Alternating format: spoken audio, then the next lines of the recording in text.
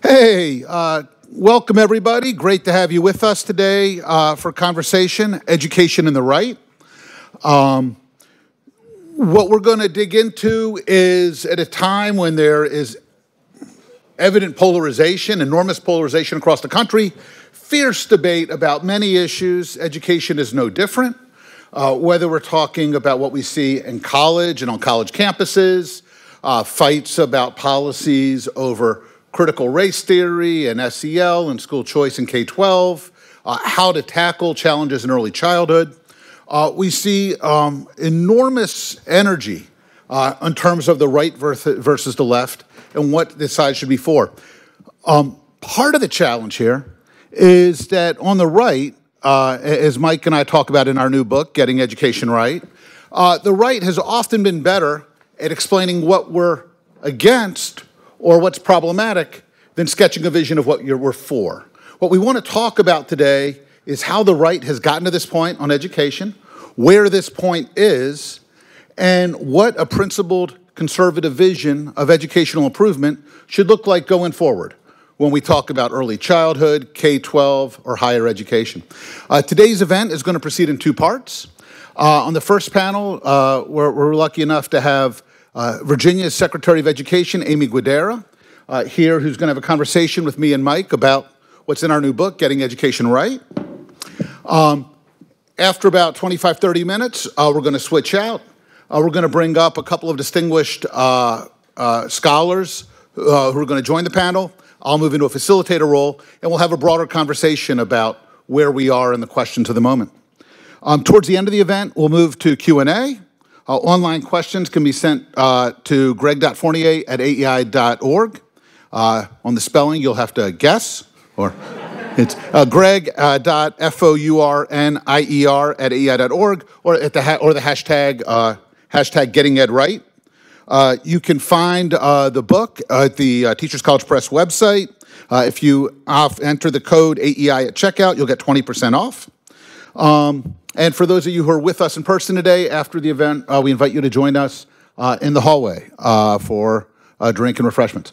Um, we've got Mike McShane, National Director of Research at EdChoice uh, and my fellow author on the new book. As I mentioned, we've got uh, Virginia Secretary of Education Aimee Guidera. And once again, I'm Rick Hess, Director of Education Policy Studies at AEI. Uh, delighted to have you with us today. And I'm going to go take a seat. And Aimee, if you could uh, get us started on the conversation. All right, thanks, Rick. We on now? Awesome. Uh, good afternoon, everyone. It is such a delight and a pleasure and an honor to be here uh, and to be with old friends and to see so many friends in the audience here and hopefully online as well. Um, I first want to start by saying thanks. Thanks for writing this book. It was really fun to read, and knowing you both, it was also really fun to hear your voices come out so much. There's a couple lines in there about comparing an OSHA hearing to the, experiencing the Super Bowl that I really loved. Um, so you'll have to go find that. Make sure you go pick up the book and read that. Um, and I also just want to say thank you also for writing it um, in this moment when there feels like there's so much tension in the world to create such a positive and clear and compelling message about why, as conservatives, we believe um, that it's really important to get education right. So thank you. It means a lot. Um, and I just want to lead that to my first question, which is why now? Uh, you know, reading this book felt like personal history in lots of ways. Going back, remembering when I was younger and thinner, and and seeing all my friends in the audience there as well, and looking back and saying what we got right, things I wish we had done differently. Um, and we could have written this at lots of points in time, but why now? Why does it matter now that this story is out there? And then a second follow up to that, what do you hope changes as a result of this book being out there? I'd say the, the why now could be that um, well, it started, we, we got bored during the pandemic. So some people baked sourdough bread, and we had this great idea to write a book. And, it, and it's really been, it, has been a wonderful project that Rick and I worked on, and in a very kind of different than how you and I often write things. We really kind of ruminated this on a long time and passed a lot of drafts back and forth, and it was really a lovely, a lovely thing to be able to do. But I think the why now, uh, you know, it's tough to not start with something like the pandemic which was such a kind of dislocating effect. It caused so many people to rethink their relationships towards schools, um, whether that's early childhood education, daycare, whether that's about K 12 schools, whether that's about higher education. Um, and, you know, I think a lot of what happened there just brought to the fore trends that were already already happening. Some of the stuff that we trace out in the book is that it was some of these things were rumbling, and it just took the last, you know, pick your metaphor, the straw that breaks the camel's back to sort of break all of this open. Um, and so we were obviously coming out of that. We see all the things that are happening in higher education nowadays, and not just the people in, in the congressional hearings and others, but things that are happening on college campuses. And I think, you know, there's that old saying you can curse the darkness or you can try to light a candle. Um, and I think there's been lots of opportunity to curse the darkness and lots of opportunity to say, oh, here's this goofy thing that this school is doing, or isn't it terrible that those schools are, are doing that? But we thought it was really important to try and put forward this positive vision. Well, what might schools look like if they were guided by conservative principles? Not just we want to be against this or against that, but what might be that, that better, better future for our students, our children, our nation? Yeah, um, I think that's all beautifully said. The other reason why now is, you know, Aimee, for a lot of our professional lives, uh, education in the K 12 world felt purple. Um, the, the big question was not are you conservative or progressive, but how do you feel about accountability? Or how do you feel about choice? Well, I think what, hap- what we've seen happen over the last half decade or 10 years is that has fundamentally shifted. I think what used to be a conversation dominated by questions of how do you organize school and serve kids, has become a conversation which where many of our friends on the left um, have made it first and foremost about a series of what I suggest are pretty extreme dogmas. And therefore, in order to engage and respond effectively, it can't just be stopping those dogmas. It's got to be starting from a place of principle. What are we for? What is, what is the role of schools? And so, in some sense, this is a response to the breakup of that education marriage and an attempt to offer a vision of how do we move forward um, in its aftermath. And, I should say, oh, I should say, I didn't answer your second question. I was going to hold you accountable. There you go. No, I appreciate that. Accountability already. Um, and some transparency too. Just let there you know. we go. I love it. Well, I'll give you some choice. Oh, we could keep playing this game. We won't. Um, uh, but I think you know what do we want to be different? I think part of it is that we want, particularly on the speaking sort of for our friends on the right, and uh, you know, movement that we're both part of. I think we want to see a bigger vision I think oftentimes we can look quite narrowly of, well, how does this one policy or even this one area of children's lives, how can we figure out the best policy to increase reading and math scores on this or to raise graduation rates because of that? And I think what we try to do with this book by, by articulating these broader principles and thinking about how principles might apply whenever we're talking about education. If the child is three or 23, um, what are the constants that exist across all of those? It might give us this broader way to have a, a bigger conversation about what are the ends that we are trying to pursue. Like, what are we trying to do here? What is the point of all of this? And then that leads to questions like, well, then who do we want doing that? Who do we want teaching our kids? How do we want them to be prepared, et cetera? And then how do we want to organize a system to achieve those ends? But part of it, we've had a series of very narrow conversations. I think we wanted to take that step back and, and, and, and broaden the lens. Do you want to add on to that? No, I love it. Okay, awesome. That's what I like. So, Rick, you brought up principles, so let's talk about values. Um, tell me what you think about conservative values in education. Why do they matter? What are they? And in the book, I know you go through them a lot. And again, everyone should go get this book and read it. But tell us some of the highlights. Sure. I mean, partly defense. What do you mean by conservative? Um, obviously, we live in an era when politics is often defined by personalities. You know, I, you know, if you're a Republican, the question is, how do you feel about Donald Trump? But by conservative, we're not talking politically. Um, we're educators. We're not, we're not politicos. So we have the great luxury of when we talk about conservatism, talking, as we explain in the book, talking about a set of dispositions, a set of ways of thinking about the world that have been handed down to us by thinkers like Burke and Kirk and a number of others. And so for us, the, the, the what did, you know, we, and then we can have good faith arguments. There's, uh, you know, as many definitions of conservative as there are people who want to define it.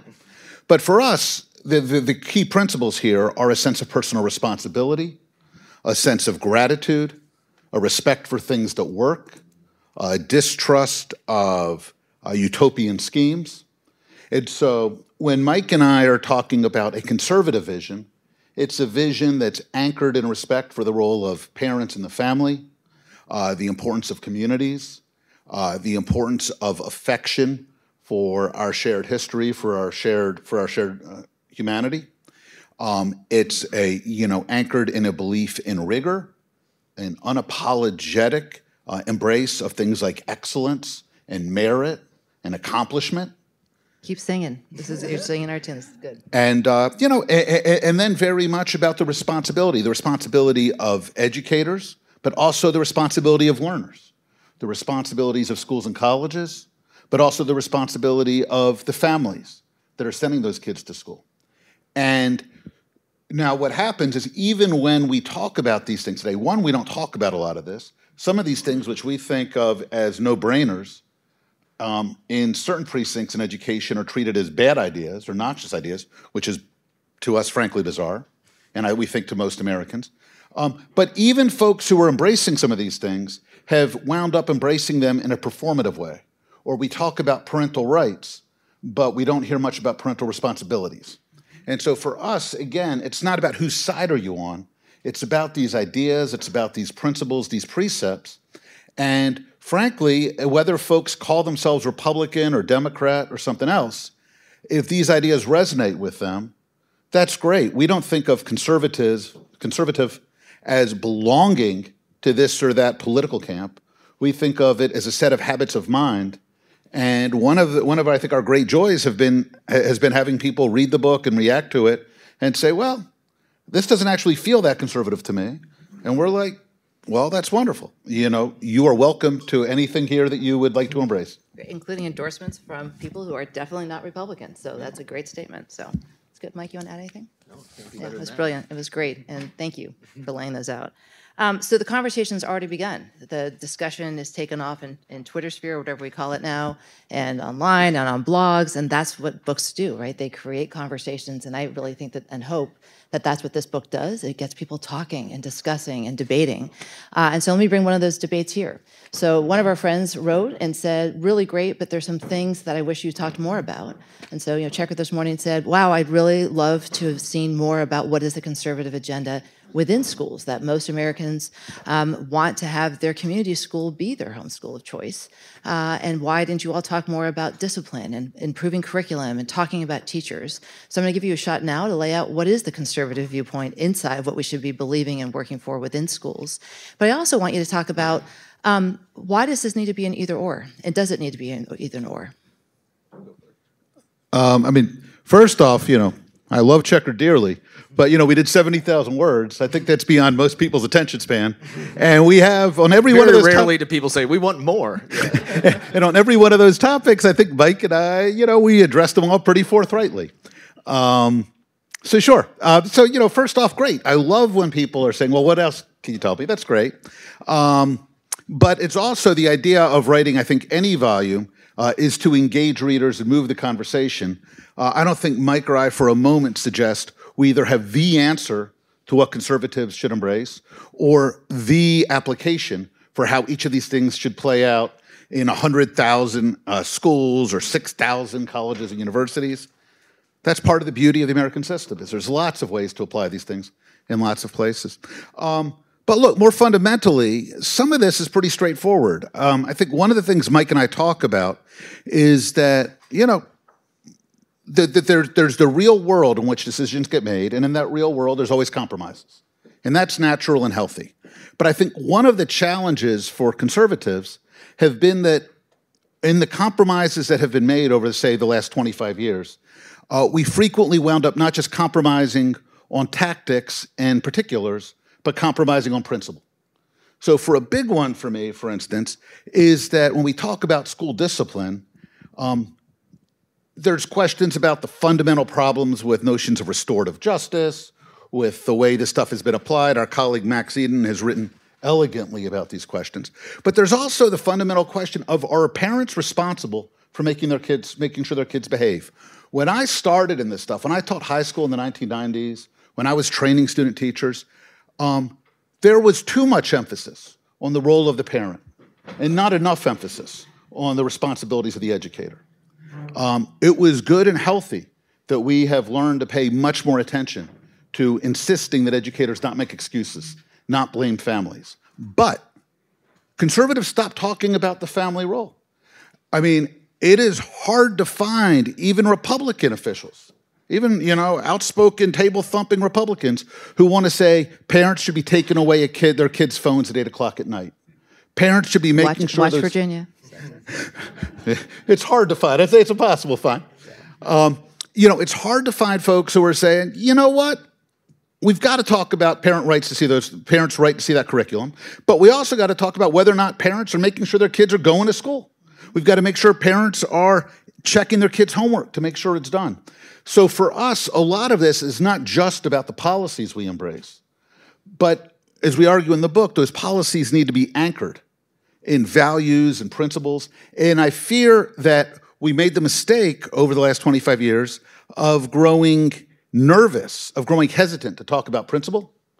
And now what we actually see is a problematic reaction formation the other way, where we've seen all of these performative online, you know, pajama nut jobs on uh, TikTok who want to launch kind of cultural grenades, but don't actually want to have a serious conversation about the responsibility side of the equation. Yeah, I'd say like, and we have clear stuff in the book about thing policy ideas for existing schools. We talk. We have a big section about teacher pay and how eliminating bureaucracy so we could pay teachers more. We have a lot about school discipline that's in there as well. But I think, as Rick was saying, I mean, a big part of this is, and it's a tension. Like when when we're conservatives thinking about how policy is made, is that we have a bias towards localism right? We want those 14,000 school districts or those 50 different states to create solutions that are right for them. So there's no book that we're going to write that says, well, this is the student discipline policy that all 100,000 schools should have. But what we can do is articulate these principles so that when that school board is meeting, or when that state board of education is meeting, or when those state legislators are meeting, they can have in their mind, okay, how should we be thinking about this problem? How can we solve this problem? What are the trade-offs that are inherent in all of that? Because because of the peculiarities of all of the different communities that exist in our country, they might come up with very different solutions that are still guided by those same principles. And so it's always tough when you're conservatives writing a book about education in America, people are like, well, you're not prescriptive enough. And it's like, well, that's because that's not really our thing. But then it's like, oh, well, you're too sort of foggy on the other side. But that's what we're trying to do is give these principles so that people can think through these problems when they're solving them in their own communities. I think I see a volume two coming. Even so, there we go. So, so I want to take us to higher education. So, um, I think one of the most compelling uh, statements you make uh, in your section on higher ed is that you say that conservatives need to engage in higher education, not abandon it. And you also make it really clear that you think that there is an upcoming era where we need to launch new models and actually develop new colleges. Um, so I want to ask you to talk more about that, given that we are entering or are in this great upheaval right now, where we're having demographic cliffs. Um, over half the country does not see value in a four-year degree right now. Um, and we are also having a plethora of ways to deliver knowledge and skill development. So why is there a golden age of college around the corner? And what do you think the conservative values are there? Yes, I'll take the first half. You'll you'll get the second half. But part of it's of not not sort of making colleges the enemy or others. You know, one of the quotations that we use in the very beginning of the book when we're talking about what it means to be a conservative is a quote from the British philosopher Sir Roger Scruton which I wish more Americans knew about Scruton. I think he's fantastic. He has a great book called How to Be Conservative. He has another book, what's a Conservatism, an introduction to the great tradition. They're both very slim, they're good. But in his book, How to Be a Conservatism, How to Be a Conservative, he says this great line that conservatism comes from a sentiment that all adults readily share, and that's that good things are difficult to build but easy to destroy. Um, and I think when I look at higher education, like I'm from the Midwest, right? So I'm from I'm from Kansas City, Missouri, and when I would travel west on I-70 to go out, you know, snowboarding in, in Colorado or whatever, as you're going across the Great Plains there, there's a whole lot of nothing. But after about you know 40 minutes or so outside of Kansas City, rising up on this hill off to the left side is this massive complex. You're like, what the hell is that? Oh, that's the University of Kansas that folks, because of the Land Grant Act and others, created these institutions 100, 150 years ago. You keep going a little bit farther, again, you're in the middle of farmland, but what rises off to the right in Manhattan, Kansas? Kansas State right? These incredible institutions. And the thing is, like, you cannot just make out of whole cloth 150 year old institutions. You know, whatever. How old is Harvard? 380 years or something. You can't just make new 380 year institutions. And so part of being a conservative, Rick will do great things talking about all the new things that we need to, to create, but you can't just abandon those types of places. And it will be difficult, and it's an uphill battle, and you're outnumbered, and all of those things that are true. But there's certain facets of that, and there's certain capital that exists there, deep wells that have been dug over hundreds of years, that you can't just start anew. So those, you know, our land grant universities and others are such a great testament to the American ingenuity. And many of the great institutions that exist now were from a kind of previous age of creation that existed. But those are still worthy of our affection. They're still worthy of our support. It ain't easy, but it's something that we still need to be committed to trying to turn around. Yeah, you know, I mean, Mike's Mike's Catholic, so this is easy for him to kind of separate the sin from the sinner. and I think you know, when you look at these institutions, uh, you know, the, the, the, you know, the, the, the uh, legacies, the alumni networks, the influence, the reputation, the resources, uh, these are remarkable agglomerations. Um, and the fact that they have been currently seized by folks who are hostile to the, the, the, the formative mission of the institution people for whom the guiding principle is not of free inquiry or of sharing the good and the beautiful or the pursuit of truth, but for whom it is about politics and ideology. That is a profound problem and one that it is, I think, you know, for me, heartwarming to see conservatives unapologetically calling this out and pushing back. I thought the December 5th hearing in Washington, D.C., despite the coverage in the mainstream media and the education press was one of the highlights of my professional career. I thought the questions asked by the members of the House were powerful and important, and they had the appropriate consequences for the presidents of UPenn and Harvard. Um, but that's not enough. It's got to be what are we for?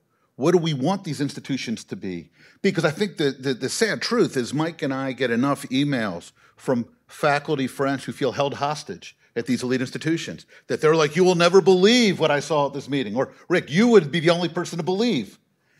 Because the reality is that it's not like most faculty at the Ivies um, have bought into political and social agendas. The problem is that folks with undue influence and power, internally and externally, have bought into these things and are browbeating um, I think, lots of people who want to take the work of the institution seriously.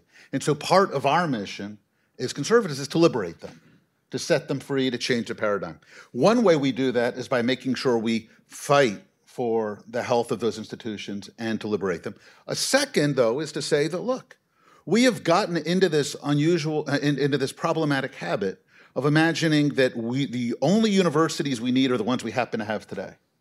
Well, this was not always so. For a long time in America, for the whole of the 19th century, we had a proud tradition of institution formation. We launched close to a thousand colleges and universities, most of them private, in the course of the 19th century. Over half of today's top 20 institutions, including places like Hopkins and Stanford and University of Rochester, were formed in that era. What's happened, though, is we've gotten out of that habit. Even conservatives with a lot of money to give wind up giving it to where they went to school or want to give it to or write a big bribe, tax tax supported bribe mm-hmm. to an institution that they hope will admit their kid or grandkid. Uh, they give it to famous schools. This has been, and what's happened, therefore, is all of these resources have flown to an existing apparatus that no longer serves our purpose. Well, look, what's changed?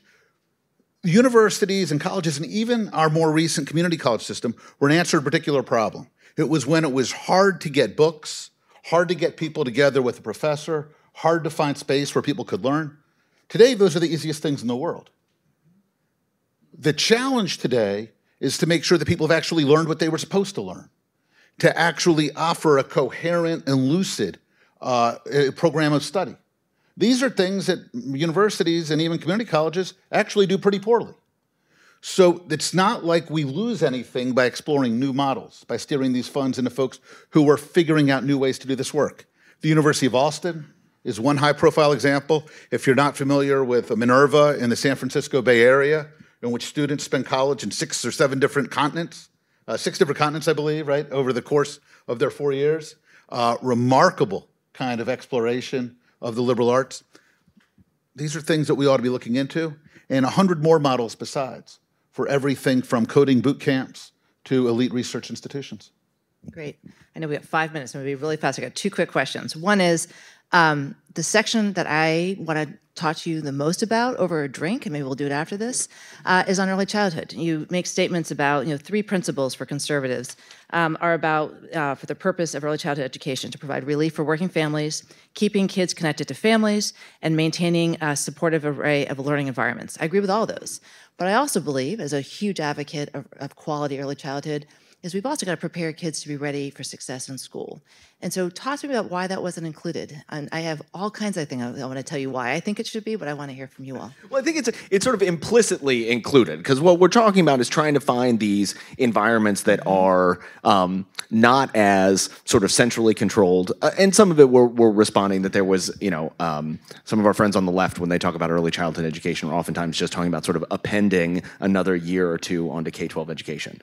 And part of what we see is there's lots of these private providers that are already in that space space. And there's also other sort of adjacent types of institutions where we don't have to even think about them in the same way of the way classes are organized or others. So I think that school readiness is important, but but look, I part of it is I wonder sometimes if the sort of school readiness tail wags the dog of early childhood education. One of the stories that we tell in the book, it was actually, I think, here at AEI, we were at an event, and maybe some of y'all have, if you have young kids that are in, in preschool or something right now, you know, you get the note home at the end of the day that's like 40 different data points of like, we did standard 40.1 or whatever.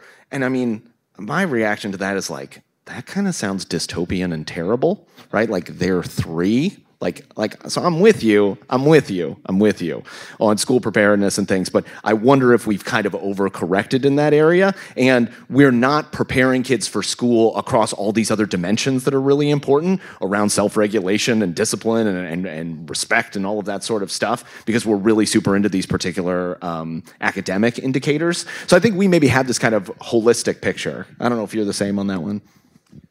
Yeah, yeah, and I think I, I partly, um, I think again to Mike's point, mostly I think what we're pushing back against is Bill De Blasio's, you know, uh, landmark expansion of early childhood uh, was putting four-year-olds in big, kind of decrepit institutional buildings uh, for 180 days a year and shipping those kids home at two o'clock, whether or not the parents' workday was actually done at two, uh, which strikes us as bizarrely institutional, impersonal, and inconvenient. And so what we're actually asking is, are there ways for those of us not in the pocket of the teacher unions uh, to offer better, more agile, more family-friendly alternatives? And we think there are. Awesome. Uh, I'm going to hold my last question for uh, the drink afterwards, but um, I want to end because I want to keep us on time. Uh, just with a thank you at where I started. Um, you know, being now in the arena as a policymaker, it is amazing to see so often how there is not values based leadership. And I happen to believe that there is a huge uh, vacuum of leadership right now in education, people willing to stand up for anything and especially to stand up for what they believe in. And what I hope with this book, what I hope happens, is that it inspires more people to actually grapple with what they believe in. And on this note, the piece that I was most heartened with is that every single thing you talk about is centered on students. And too often today, the conversations that we're having in education talk about so many other things, but don't actually talk about what we should be talking about, which is students. And how does this policy or this practice actually support student learning, student achievement, student well being? And so I want to thank you for putting a pin strongly in the conversation that it matters to believe in something and we need to believe in our kids. So thank you for doing that and I look forward to continuing the conversation, uh, not just here at AEI, but also one of the things I hope everyone does um, is not just clap right now for these two for authoring this, but going out, getting this book, and then having the conversation around your dinner tables, having the conversation in your classes, um, and talk to your neighbors about this because this is what matters so much is to have the conversation about what we believe in and how do we make sure that we're living our values every single day as we fight for a better education system. So thank you to both of you. Thank you.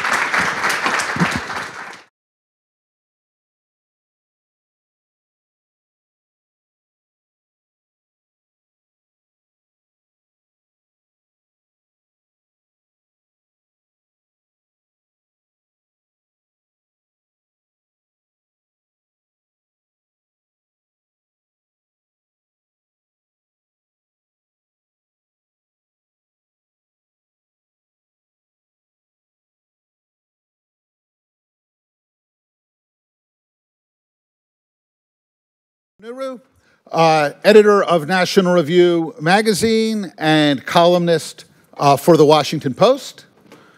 We have Matt Continetti, uh, author of The Right, uh, The History of Contemporary Conservatism in the U.S. And if you haven't read it, it is a book you really uh, will find worth the reading, uh, as well as the Chief of Domestic Policy Studies at the American Enterprise Institute.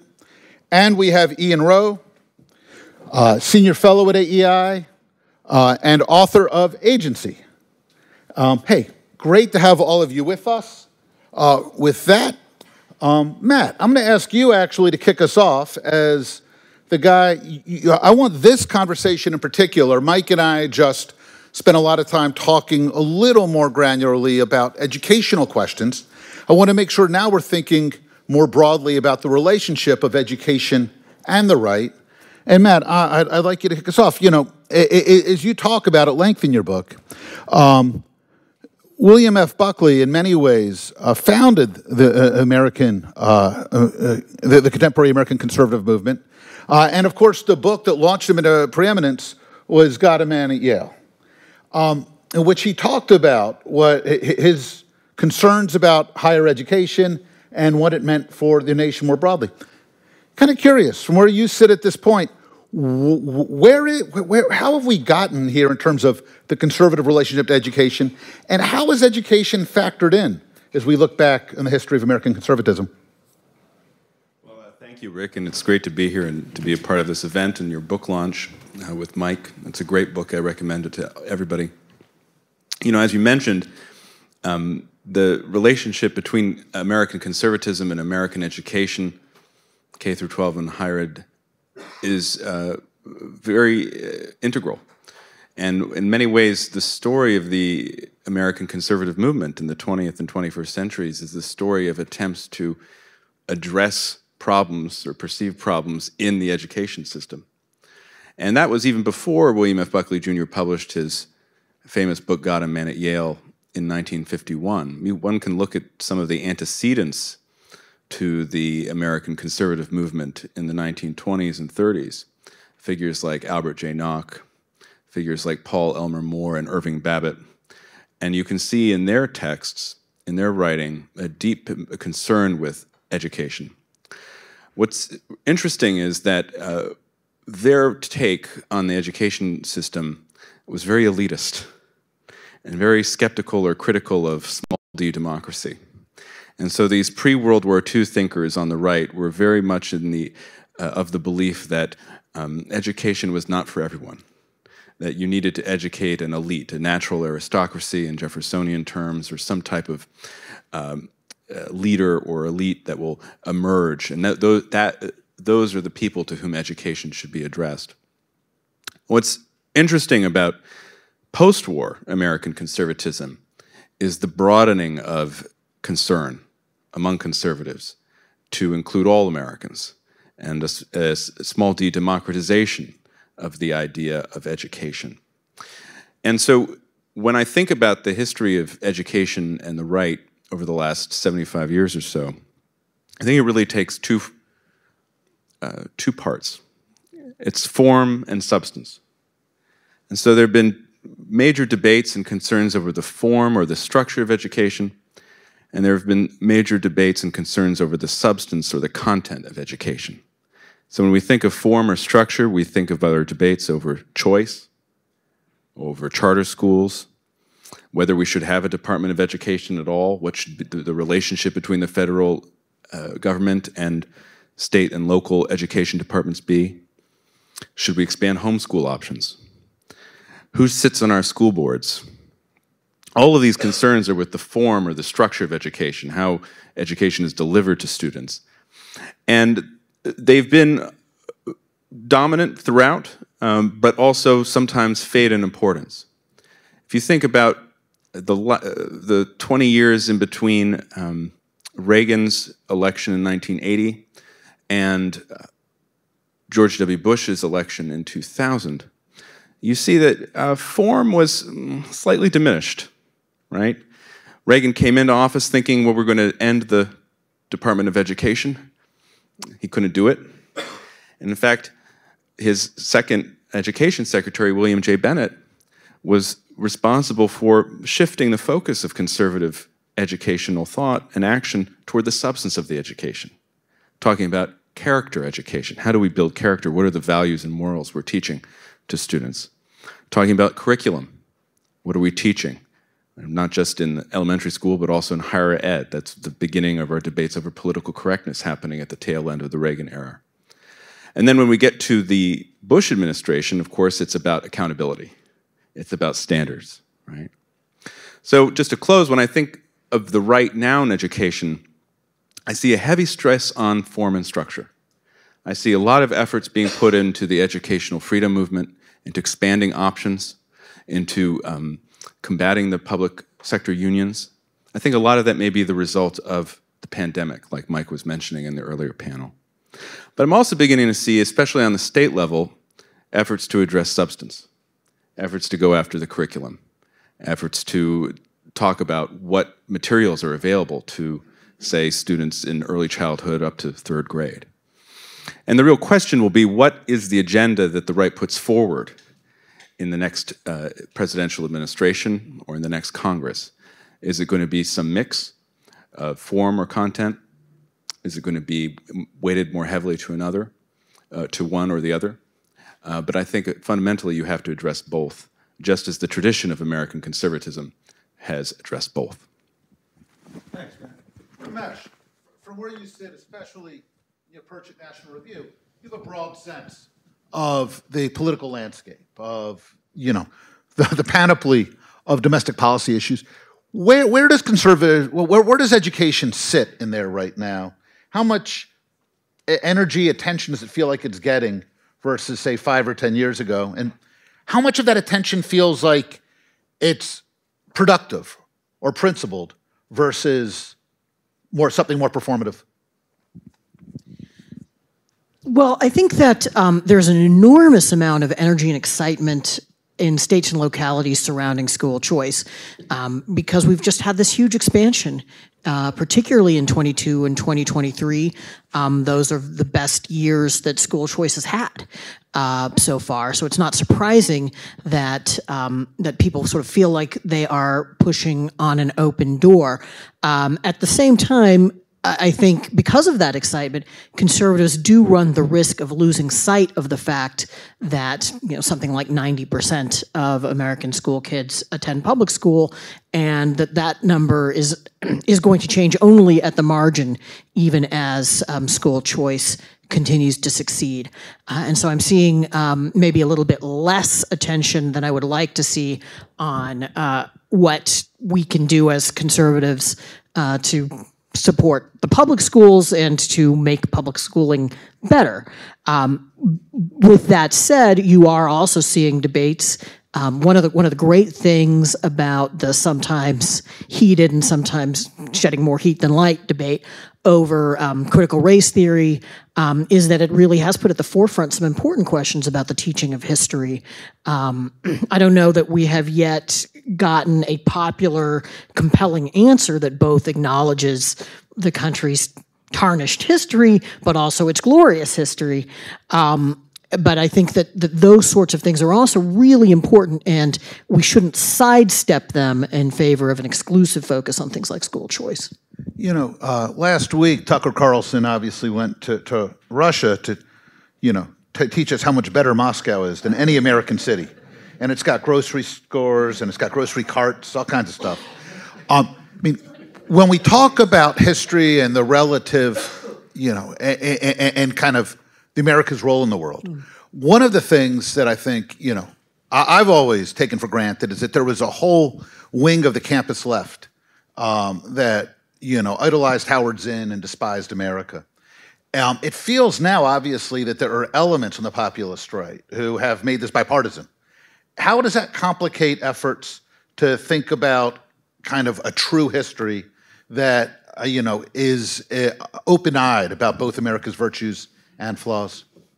Well, we have to acknowledge that coin-operated shopping carts are the pinnacle of civilization, a a reliable marker of a high-trust society. Um, You know, I think that uh, it's important um, to restate American principles um, and their inclusiveness uh, because you, we are seeing a turn against them um, on the left and on the right. I don't think it's a turn that has uh, pulled in most of the US population, however. Uh, and I think we do always have to keep in mind that there is, you know, a large population of normal people, even if they do not always make themselves heard online, uh, and uh, and stand for those people um, because the uh, the alternatives are are far inferior and sometimes crazy, um, maybe even in the clinical sense. You know, Ian, one of the things that this all brings up is something that Aimee asked about in the first panel is this relationship between values and practice or policy of education. I mean, you're somebody who has run schools that were unapologetically um, you know, immersed in teaching kids um, about virtue and the success sequence. You've got a lot of scars to show for that experience. How do you think about where we have gotten that balance wrong in terms of thinking both about value and practice or policy? And what does it look like to get it right? Yeah. Well, first of all, thank you everyone for being here. You know, I, I agree a lot with um, uh, Matt and Ramesh, it, it might be that our focus as conservatives from a policy perspective on things like choice and accountability have overshadowed in many ways um, the virtues conversation, which I'm very excited to talk about. And it might be that we're actually victims of our own success. You know, on the accountability front, obviously no child, no child left behind. Every state is obsessed with standardized test scores but it's almost led to a perverse response uh, in terms of accountability. I mean, just a couple of months ago, the New Jersey State Board of Education, because they were unsatisfied with the demographic makeup of the kids that were demonstrating proficiency for to leave high school, you know, only 39% of kids uh, demonstrated proficiency, and they were dissatisfied with, um, you know, Black and Hispanic students. So what did they do? They just they just changed the cut score. You know, they just changed the proficiency level, and now close to 80% of kids are, you know, voila, you know, student achievement.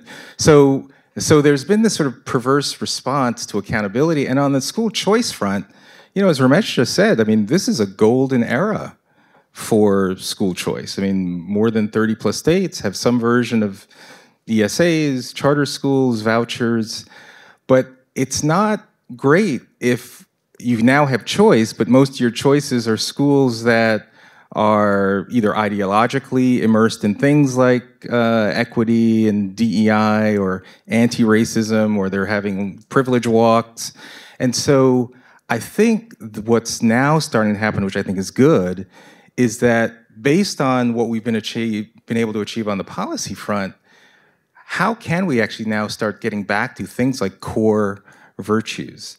There's a reason the classical education movement, I think, has had such a um, huge, resounding um, resurgence, I guess, in the last few years, because I think a lot of parents and students just want to go to schools that are focused on core values. I mean, we just launched our high school in the Bronx, and we are organized around the four cardinal virtues of courage, justice, temperance, and wisdom and and that or that affects every aspect of our curriculum, the canon, the reward system, and we have I statements associated with each of the the cardinal virtues. So courage, for example, and these are words that all of our students have to memorize.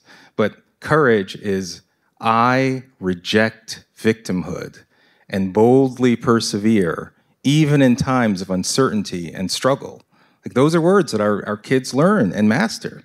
Temperance you know, I lead my life with self discipline because I am responsible for my learning and my behavior. These are powerful words and messages that first kids learn in their head, but ultimately they learn it in their, in their heart and they adopt that behavior. And I think I think there's something very powerful, especially in the face of a lot of the equity conversations and your your value is, you know, determined based on your skin color. No, no, no. I think a lot of people want to reject that and get back to the inherent dignity of each individual, the common humanity. And that's what virtues-based schools and values-based schools are all about. So I think that's that's part of the answer. And one other thing I want to say, because we haven't really talked about it, we talked a little bit higher ed, you know, the Wall Street Journal has a great story today. Uh, uh, Burning Glass just put out a really interesting study that says that nearly 50% of college graduates 10 years later are in jobs that don't require a college degree. Like, think about that. That's amazing, right?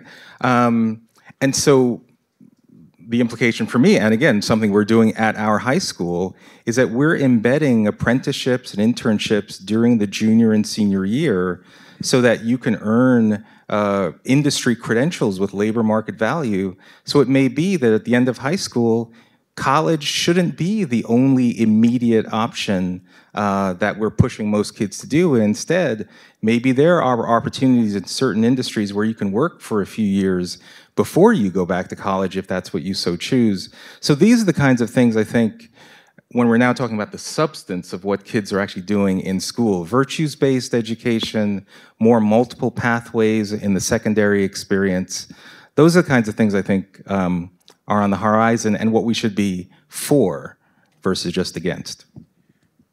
Aimee, you know, one of the things that that that, that suggests is you know, if we're going to be for empowering parents and giving families more options among schools and giving them more options of good programs against them, that's great. I mean, I think, but I think that's a pretty easy yes.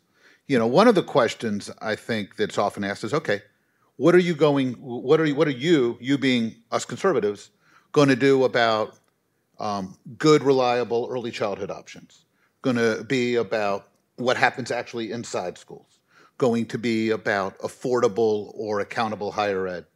So, you know, you spent a lot of years trying to help states build out data systems to look at these things. And now you spent the last several years working with Governor Youngkin to try to tackle some of these. Curious, what are some of the opportunities, the low-hanging fruit that you see kind of where you're sitting, especially given that you have, in your role, you touch the early childhood and K-12 and higher ed systems in Virginia. And where, where, where are those opportunities and where are some of the pain points in kind of moving on that?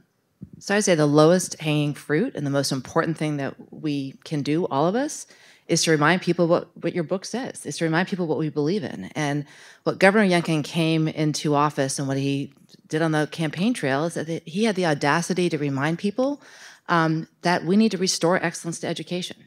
And I would argue that that is the most important message that we can all give is that our children deserve to have high expectations of them.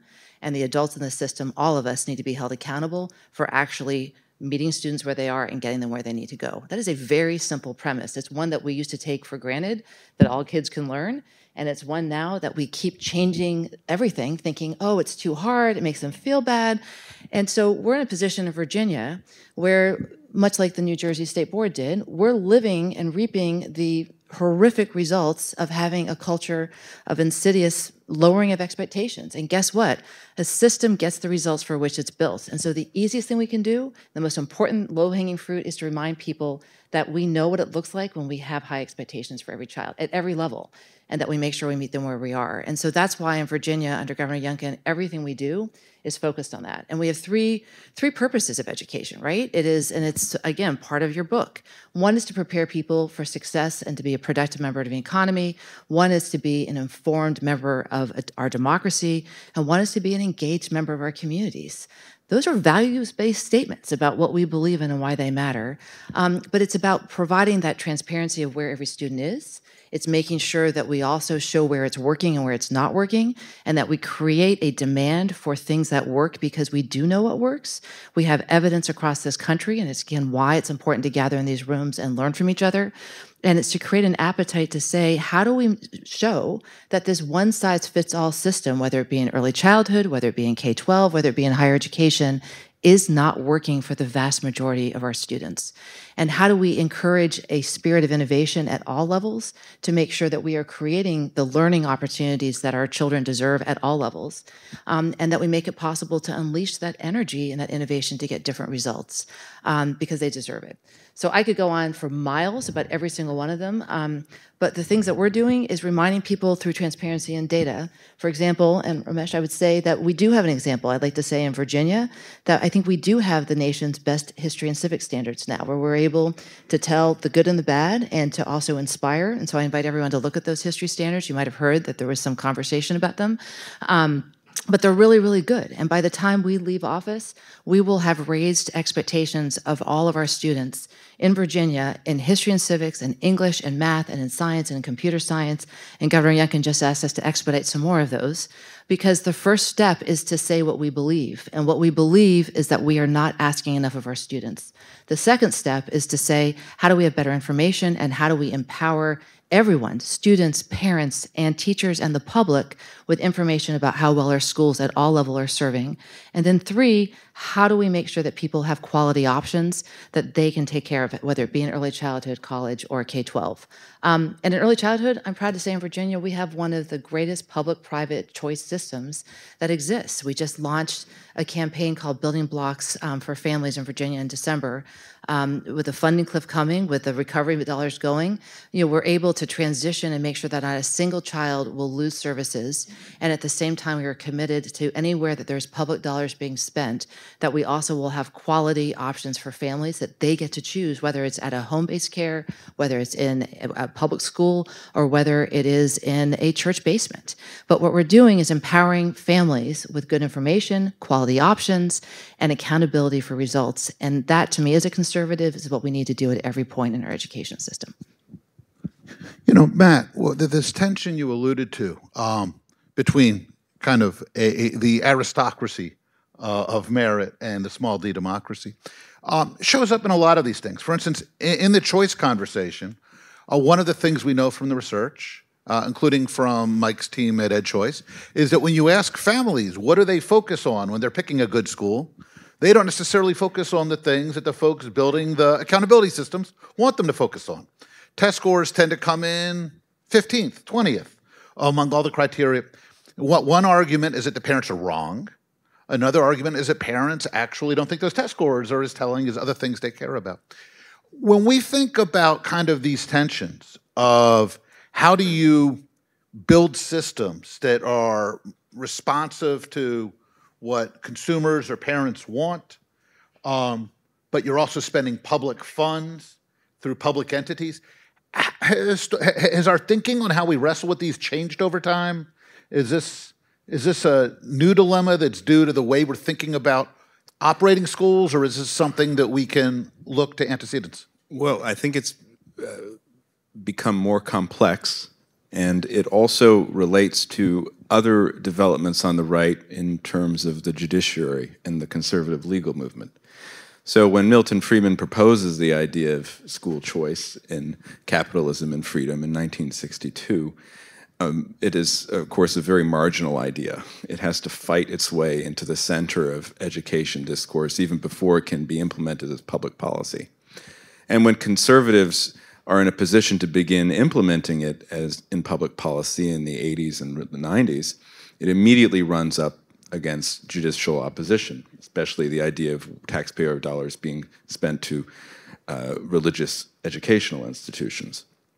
But because of similar developments within the conservative legal movement and some original thinking in the public policy world, it's become much easier now to, for us to provide parents with a variety of options.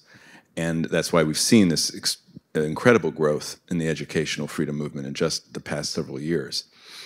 So the, the fundamental tension, though, about well, what are conservatives for? What is the what and what should conservatives think about government's role in education? That hasn't changed. That hasn't that hasn't really been resolved.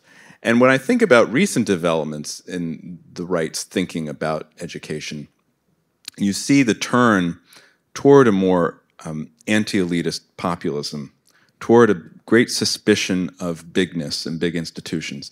And there the turn was really visible with the Common Core debate during the Obama era, where suddenly you would go to these Tea Party rallies and what the man dressed as the colonial patriot wanted to talk about wasn't Obamacare anymore. It was about Common Core, and it was about Bill Gates' plan to uh, corrupt our children through the education system. And so that became, I think, a spur toward a renewed focus on structure as opposed to content.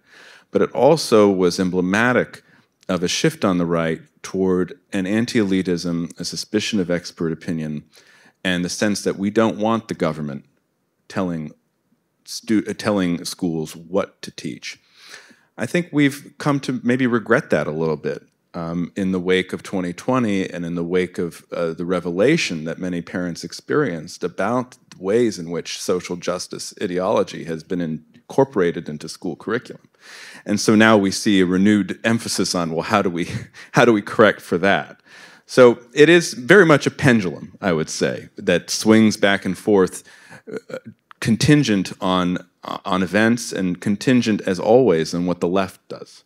The right is always responding to the left. And so as the left changes, then the right has to rethink and renew and reform. You know, Ramesh, this is, uh, you know, in light of what Matt just said, I mean, it's an interesting question. When we look at the Common Core, and you, I remember talking to you at various points through that entire episode. Is that something in retrospect that's a case of the right effectively rising up, or is this something that the right ought to regret? What, what are the takeaways from that experience? So I, I think that the main takeaway is not so much about the right or the left. It's about the institutional setup of American K to 12 education, which just does not lend itself to national overhauls, uh, however well or ill conceived. Um, and I think that one of the so one of the things I like about this book is if you look at the index, the Department of Education comes up exactly one time, um, and I think that that is an accurate depiction of its place in the national educational landscape. I'd prefer better federal education policy. I'd prefer less federal education policy, frankly. Um, but I think that things like getting hung up on the department and and trying to get rid of it even are uh, in many ways a distraction from what an what a sensible education agenda could be. And I think that conservatives, liberals, everybody is putting more focus on what goes on in localities because that's where the action is you, you, the federal government just um, provides too small a share of the funding of American education for it to drive the train. When it tries to do it, what it mainly finds is that states and localities get very creative in undermining and getting around those strictures. Now, the, the exception to that, obviously, is higher ed. Exactly. Yes, K to twelve is is very different.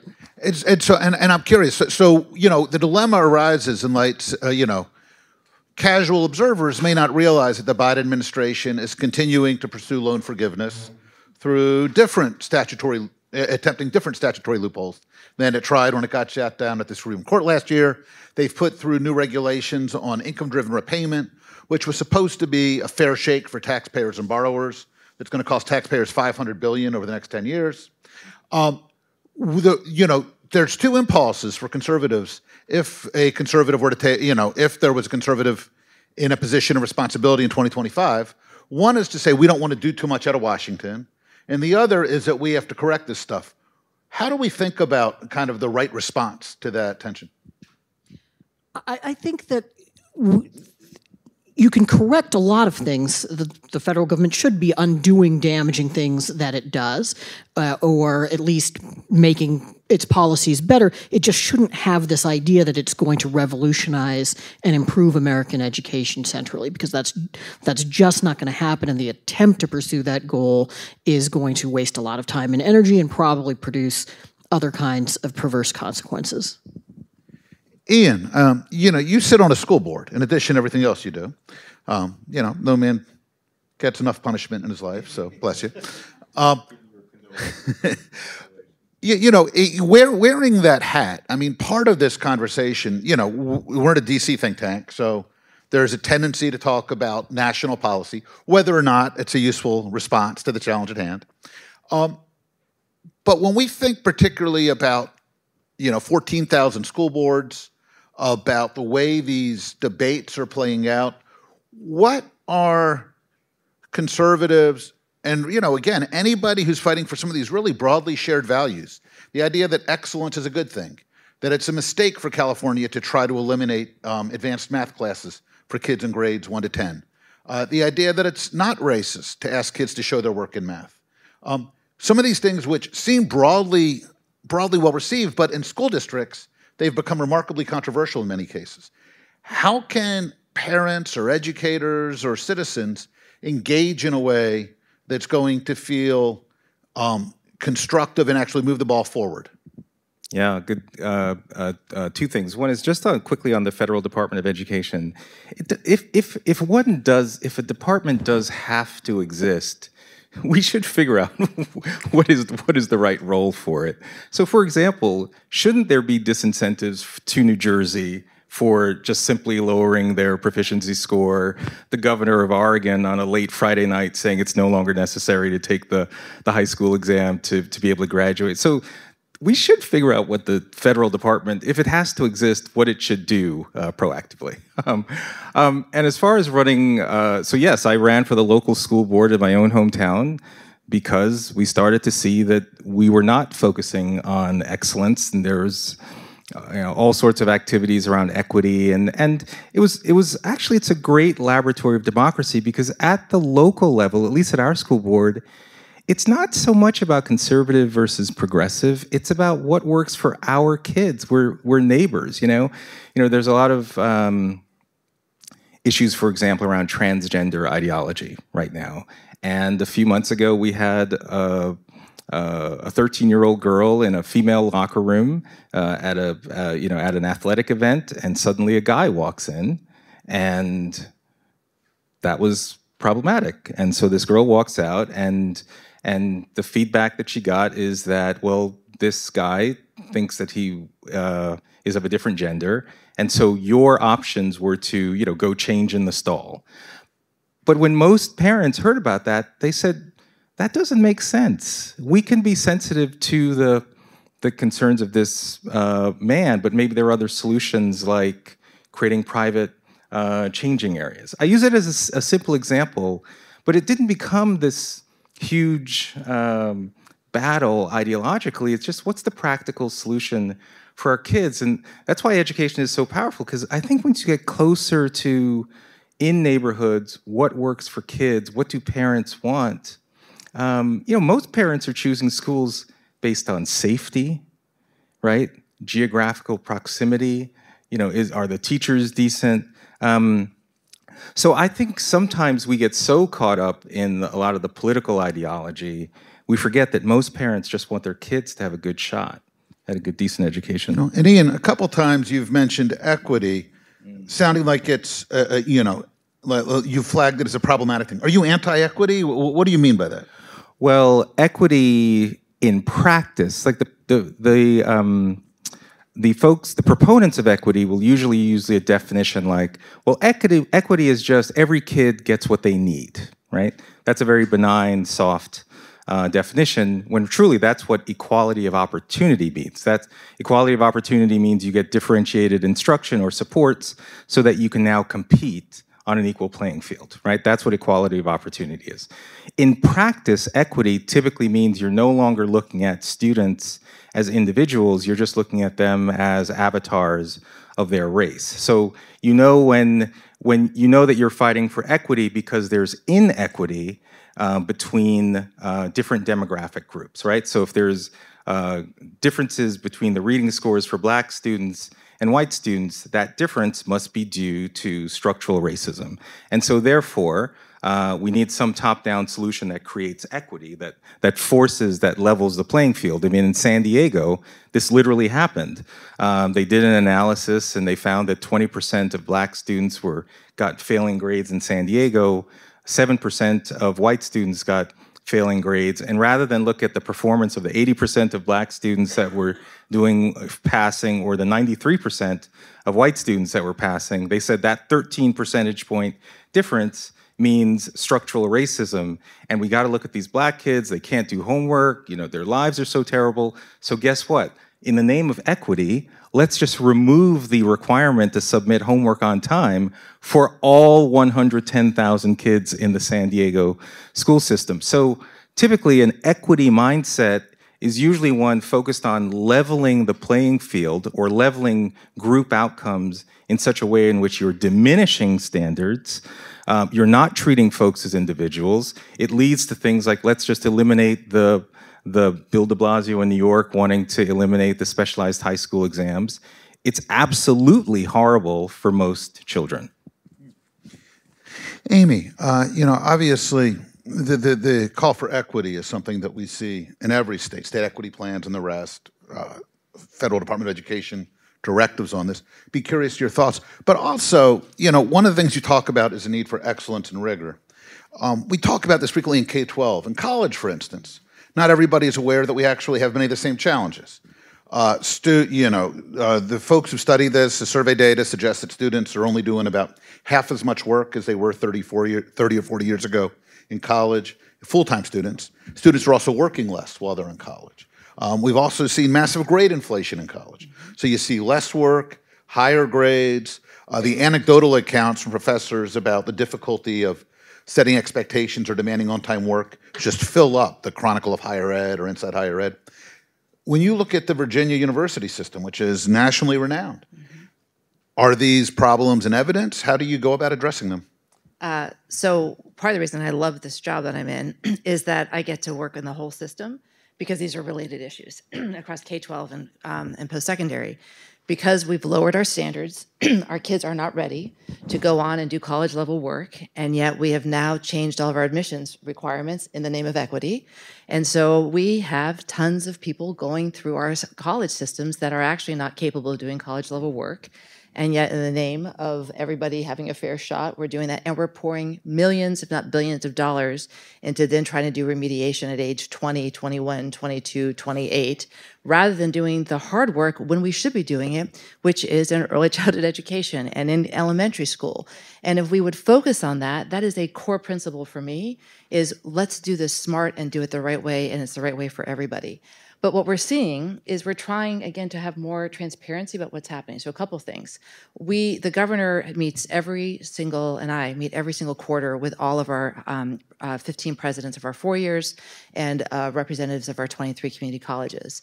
That's never been done before. And part of it is a CEO to CEO conversation and saying, our college system really matters to prepare people for a vibrant Virginia and that we have to get this right. Um, and we know we also need to be the leading state. Our goal is for attracting, growing, and retaining talent because we all know the race for talent is on. And so we're going to grow our own. So we have a really strong system. Um, that being said, this great upheaval is, is happening, and there's going to be a lot of change. And I think that Virginia is in a really strong position to take on that change. So we are embracing transparency and accountability in a whole new way in higher education. One of the calls that the governor has made to all the presidents is for them to play a more active role and to take it on as part of their mission to work in partnership with K 12 to ensure that they are doing work in partnership to prepare students to actually get into their institutions to do college level work. That sounds like that should not be revolutionary, and yet it is. Um, and I'll throw out one statistic. In Virginia, and this is SCHEV data, our State Council of Higher Education, 10% of our first year students in our colleges, in our public colleges, do not persist on to second year. Of those 10% of students that don't persist, 40% of them have debt of $10,000 or more. Just think about that life changing debt as an 18 year old and 19 year old. That's immoral. We are lying to people about their readiness, and I would claim we've been doing this in education at all levels. We are letting people in that, and telling them that they'll be ready and they'll catch up when they won't. And then we are saddling them with debt and with lost opportunity. And that is the exact opposite of what we should be doing with education. So, what we're trying to do in Virginia is to get greater transparency. We are trying to very much bring back definitions of and an applauding of merit and saying we are going to start asking our institutions to start using measures of, of college readiness. It matters to actually say and to send a message throughout the system that it hard work matters and excellence matters and achievement matters, and that we're going to make sure we're signaling that at every single point and working together. We also are going to rethink all of our advanced um, uh, work and gifted and talented programs. We're following what Fordham Institute's done with their great work on gifted and talented, and making sure that also our colleges are working in partnership with our school divisions to do a better job of identifying students who traditionally have not been identified as being capable of doing more advanced er, earlier on, so that we make sure that our Virginia institutions look like Virginia, not because we've changed the goalposts, but because our students are ready for the rigor of college work. And my last thing I'll say is, um, and no one that knows me will be surprised, we took a compliance exercise called the six year planning process in higher education, which traditionally has just been really a big fancy way to create a biennium budget for higher education. Um, and we turned it into a true strategic planning process where um, we literally created data packs of all the publicly available data about what's happening in our colleges, every one of our institutions. And so I invite you to go onto the State Council for Higher Education uh, website, and you can look and see an overview of where Virginia is in a comparable way across every one of our institutions on inputs in terms of looking at the changes in cost, the costs that are being spent on administration, what's being spent uh, in the classroom, but also, in my mind, equally, if not more important, on outcomes. For the first time ever, you can go onto a single website in Virginia and find out the top 20 programs of study in every single institution and find out what percentage of students are getting jobs in the industry for which they prepared, at what wage level over 10 years' time, but also how the labor market in Virginia values the, um, the, the graduates of that program. We're trying to do a better job of create of really reinforcing the connection between earning and learning. Um, and as I said earlier, it's not just about getting a job. There's a lot of other good things we can talk about in terms of free inquiry and democracy and civics and all those things. But one of the key things is we're not preparing people well. The the the overproduction of degrees and folks that don't have those and aren't in jobs that require them. We've got to talk about this because the debt levels are huge, and the amount of money we're spending on higher education and not getting the results that our our our Commonwealth deserves and our states deserve is a major major issue. Ramesh, you, you, uh, our colleague Yuval Levin did a terrific National Review piece probably last year uh, on how the right would do well to think about itself as a party of parents. You've written about, uh, you know, the, the, the, promise of new programs being launched at state universities, uh, new centers for study of virtues and civics and Western Civ. When you think about what it looks like to put stuff forward other than abolishing the Department of Ed, what are three or four ideas that feel like they have traction, that they actually could go somewhere that they could actually make a difference and start of change, starting to change some of the root, the expectations and norms? Well, the uh, the simplest way to get that is just flip randomly through the pages of the book, uh, and you'll you'll find um, such ideas. I do think that um, the idea of creating new centers in universities to try to disrupt the ideological monoculture that too many universities have become uh, is a promising one. We are seeing that effort take off as well. Um, I think it makes a lot more sense than the idea of trying to sort of regulate faculty behavior so that they will um, sort of, you know, provide multiple points of view when they're all overwhelmingly on one side of these debates. Uh, I'm not saying that such regulations are always wrong, um, but I just don't think that this is a strategy that can actually work. Um, I do think that the, that the, the school choice uh, efforts that are be, that are that are underway in different states. I don't mean to um, suggest that the that I don't share um, the enthusiasm uh, for those efforts um, because I do think that there is a kind of sclerotic um, tendency in the public schools that has to be taken on. But more broadly, I just think that there's an opportunity that was brought to us by this horrible plague of COVID um, that has that has opened up possibilities, uh, partly by shaking people out of complacency about the school system. People saw, uh, got a got a better parents got a better look inside the schools uh, and what was happening in them than the, they had previously had, and uh, a lot of people saw that. Um, these systems were not built to prioritize the needs of students and parents, um, but they were responding to other priorities entirely. That, I think, is what has made the school choice revolution possible. And I think it, it, it, creates an opportunity for us to, to just take a fresh moment to say, um, you know, is this working? To, to go to go to something that Ian was talking about, the that burning glass uh, study, I think suggests that our entire K to 12 education system is really working as intended for about a sixth of all of our young people, right? The archetypal success story that our system is designed to create is the kid who graduates high school, goes to college, gets a college degree, and then gets a job that requires a college degree. Well, that is the experience of the of one sixth of our population, and it's the one sixth of our population that already has, in general, the most advantages and is doing the best. Is that where we want to spend most of our money? And we need to ask ourselves those sorts of big and systemic questions, and then at work at the local level, um, to and uh, particularly with higher ed at the federal level, to see if we can change that. I could just jump on that, I mean, that goes to what Matt said in the beginning, right? The education was for the elites originally, and the system we've built is still for that elite track, and we have are failing all of these kids. Um, so one of the things that we're trying to do in Virginia, again, is to break up this one size fits all and the same expectation for every child, and instead say, how do you make sure that we are providing a much clearer understanding earlier for families and students about the multiple ways to success and to be prepared for life, and that there's not one definition of what success looks like in this country. And we keep trying to fit everybody into the same elitist view of everybody needs to go get a fancy four year degree.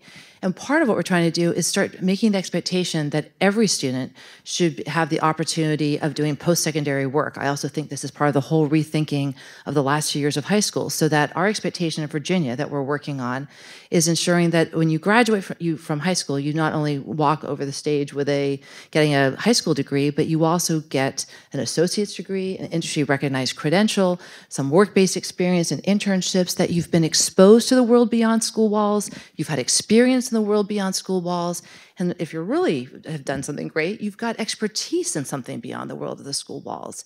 You know, one of the things that just uh, will be seared in my brain on my last breath is something when I was working at the National Alliance of Business and trying to, it was a campaign called Making Academics Count. It was about trying to get employers to use transcripts to send a message that how they do in, in high school and academically makes a difference in the rest of your life to send those messages of hard work and merit and achievement matter and there was a New York Times article on the campaign, and it was a quote from a young man who just graduated from high school, and his comment was, "If someone had told me I needed to take algebra to get a job, I would have taken algebra." And I think this is one of the greatest failings that we are doing in this country, and it's so simple it's informing people, it's giving them information, it's making sure people have, especially our youngest students and our families who don't know the rules and don't know the opportunities, that they have access to this information. Um, that's where discrimination is happening, right? Is some people get the memo about what you're supposed to do, and some people don't. And we need to start making sure that we are communicating to everybody and making sure everyone understands that there's dignity in work and that there are many, many pathways to go, and that our system right now, why in the part talking about higher education, it's no longer a pipeline. It's really about the fact that we're going to have to go in and out and get a, a training and education throughout their life as our world of work changes.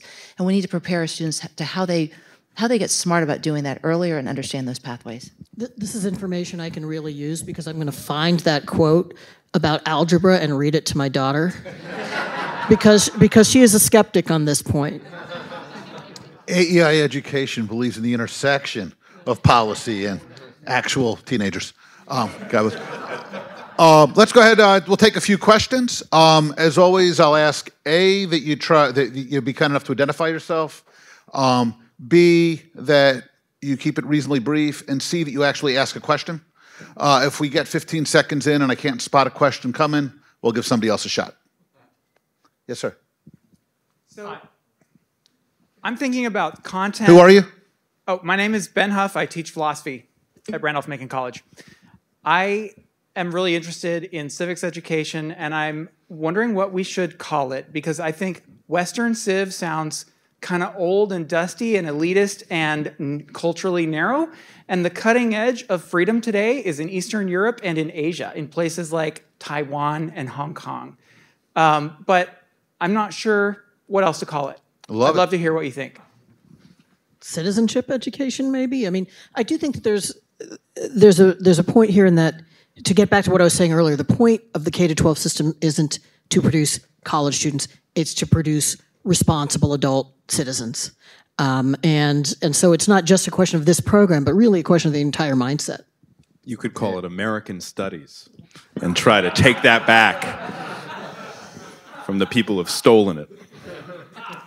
And and I actually would try to lean to virtues-based education. Typically, when you think about civics education, what comes to mind is participation in the uh, the extrinsic uh, democratic institutions. Do you understand the, the the three branches of government? Do you voting, the electoral process, all of those things, leaping over the virtues upon which uh, a self-governing society depends, right? So if we have more and more young people that understand, again, this idea of courage, justice, temperance, wisdom, those are the core human virtues for which a civil society is based upon.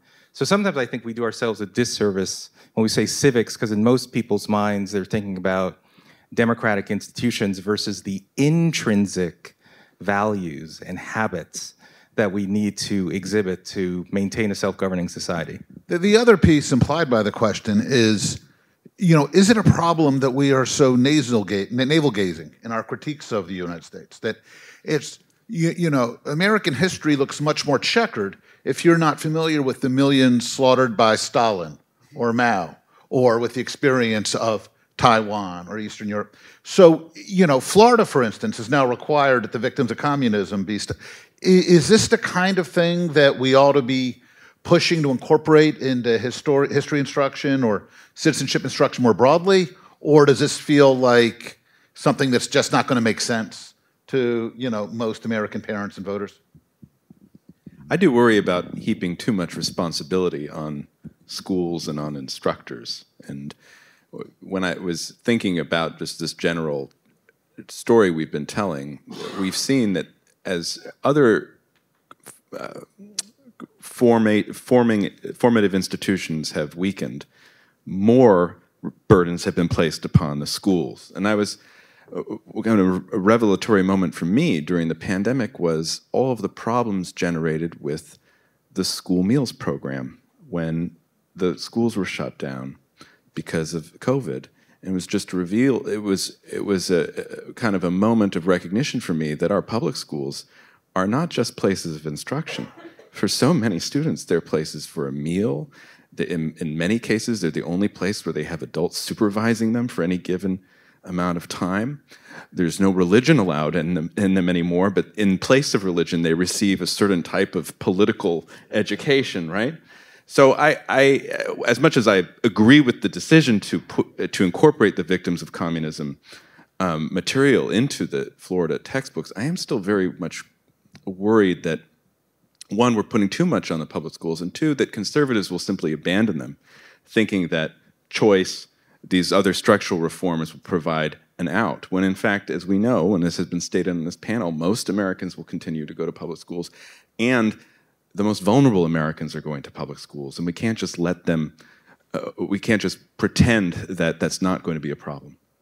So I would just again commend the Virginia Standards, History and Civic Standards. Thank you for being here from Randolph Macon. Um, we, it's really hard to put everything into standards, but I'm really proud of what we did um, because we were able to capture the good the, and the bad in history, world, uh, world history.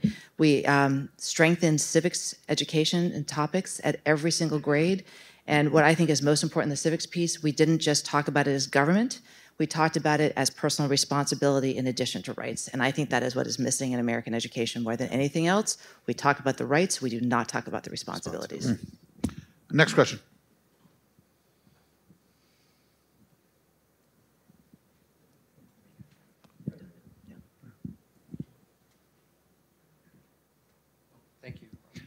Hi, Paul Edwards. I direct Wheatley Institute at Brigham Young University. Um, I'd love your thoughts about accreditation and its role in this. It, do you talk about it all in the book? What began as sort of a private quality control system has become a government licensed cartel for uh, you know federal funds to flow. So just how does that play into thinking about potential changes? Yeah, we um, we do discuss it in the book, and um, yeah, uh, you know, for instance, Steve Klinsky's post-secondary commission is an attempt to create a new model of accreditor, which is actually focused on outcomes and earnings for students. Uh, shouldn't it be the only model. Um, I'm not sure that you, you know an earnings-based accountability is the best approach for every institution. Uh, but the idea, you know, the way accreditation works today is it's basically a pay-to-play system in which colleges uh, pay money to have the accreditors come out, and then they count the books and they count the credentials. And after you build enough stacks of paper and report them, you get permission to spend a lot more federal funds and have your student take out a lot of federal money that doesn't get repaid um, under the new order. And yeah, this is a fundamentally broken cartel. And you know, we argue in the book that you know there is the conservative impulse is both to be hesitant uh, to break old things because things that have been with us for a while are, have frequently done so for a reason. But conservatives are also very conscious of self interest and the way in which self interest entities will tend to engage in conduct that's not necessarily good for the larger public. And I think you certainly see that in the behavior of unions in the education space, and absolutely see that in some of these behaviors around the college cartel and particularly about around the use of college credentials for hiring in ways that really ought to be legally problematic. Um, absolutely. Next question. Yes, sir. Behind you, Sean. Thanks. I'm Ben Wildavsky, a visiting scholar at the University of Virginia, author of The Career Arts. The question is I love the men that don't end it theme, but if that is where conservatives are going to go, per Rick's you know, book, do you have any concern at all that all of the concern about call it culture wars, erosion of classical liberal principles on campus, that that is leading people on the right to have a real distrust and disengagement in college when there is really a very robust evidence base that the economic benefits of college, despite the, all the concerns about debt and so forth, are really close to an all-time high. The wage differential is, remains very high. A record number of Americans now have four-year degrees. I think there's a lot of disinformation out there. And is there a danger that we'll get into a situation where the right says, nope, college isn't for the conservatives, and they end up hurting a lot of people? Ramesh? Well, yeah, I think that, that one of the negative side effects of the sort of thorough politicization of universities that we have seen is that it encourages an anti-intellectualism on the right that is already, in a certain sense, encoded into our DNA, um, since you know a certain skepticism and suspicion of expert control is sort of part of our creed. Um, but it's also something that can be taken too far uh, and uh, and can become a, a, certain just kind of philistinism. So absolutely, I think that that is a problem, um, but it is a problem that can't be corrected just on one end. So you can't just sort of lecture conservatives that they shouldn't throw the baby out with the bathwater, although that's important to say. Um, but you also have to reform these institutions so they don't simply look like um, sort of factories for leftism that are paid for by people who don't want to pay for that. I just would also say that there's, uh, and thank you for being here from UVA, um, that uh, that the returns on investment for post-secondary education and training are irrefutable, right? It's getting, it's more uh, that, but I would argue that the evidence is getting less and less. It needs to be a four-year degree. Um, so one of the things that I'm really excited about is our community colleges, right? And we have some incredible data right now in Virginia on a program called our Workforce Credential Grant, which is a skin in the game for the student, the institution, and the state to encourage people to go in and get short term credentials in the most in demand areas and jobs that we cannot fill in Virginia. And it is a win win win.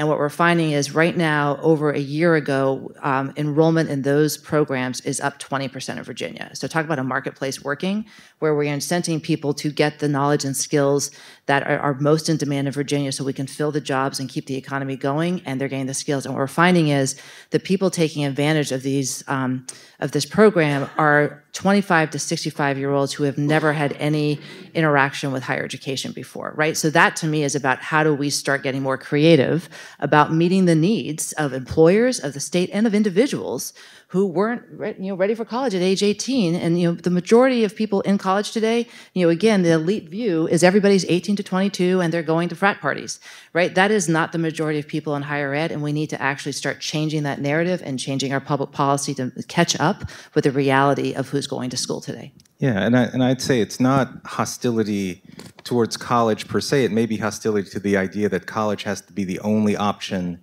immediately out of high school. There's great studies on career academies where, again, uh, students are doing apprenticeships and internships in high school or soon thereafter where they're getting credentials, able to work for a few years. And the data is pretty amazing, especially for low income men who, who oftentimes end up going back to school a little bit later, more mature, a little bit of money in their pocket, much lower rates of non marital births, right? Because these men are, have a more of a clear purpose of what it is that they're seeking to accomplish. So I think that's part of it. It's not hostility towards college. The, the data is irrefutable, but it's not the right answer for every student, certainly immediately coming out of high school. Matt, I'm going to ask you to take us out. Final question. You, you, you alluded a little earlier to Bill Bennett's tenure as Secretary of Education. Um, and Bill was, you know, magnificent using the bully pulpit among, among his other gifts. Um, as we look forward, if you were to point to one conservative leader, state official, or national figure who has spoken kind of most effectively or most impactfully on this whole bucket of issues over the last 30 or 40 years, Or is there an individual or two that you would point to as kind of a role model for folks trying to get this right? Well, I think the Bennett Department of Education was extremely innovative and extremely effective, and using the bully pulpit is one of the things you can do in the federal government, as well as break up the accreditation cartel. That'd be on my to-do list for the next uh, conservative Department of Education. But um, I would say Bennett. I would say, uh, you know, it, we mentioned William F. Buckley Jr. and God and Man at Yale. The other big conservative book on education was The Closing of the American Mind, right? Um, and Allan Bloom. And that there too, a focus on the content, not not the structure. What are we actually teaching? What do we expect of our schools and especially our institutions of higher education? And then finally, I think the Foundation for Individual Rights in Education has been doing incredible work. We haven't speaking, spoken too much about viewpoint diversity. But it is interesting to me when you just take the two bookends of this story we've been telling. Um, there in uh, God and Man at Yale in 1951 was an attack on academic freedom. And now, so much of the right and the efforts of institutions like FIRE is to protect academic freedom and to protect um, viewpoint diversity in order to continue the original mission of the university, which was the pursuit of truth. So I think we can look to all those figures um, uh, as models to follow um, in, in the years ahead. Hey, thanks much. I'd like to thank the panelists for a terrific conversation.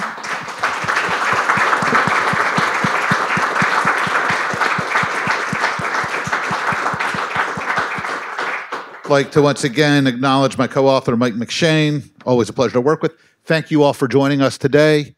Um, good afternoon and be well.